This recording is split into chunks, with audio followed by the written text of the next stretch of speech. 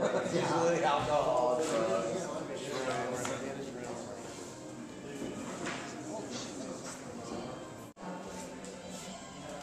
And we have two big paintings from UPS. Schedule. we found a wooden piece made a, a new pizza. I just want you to have time to talk to him. So let me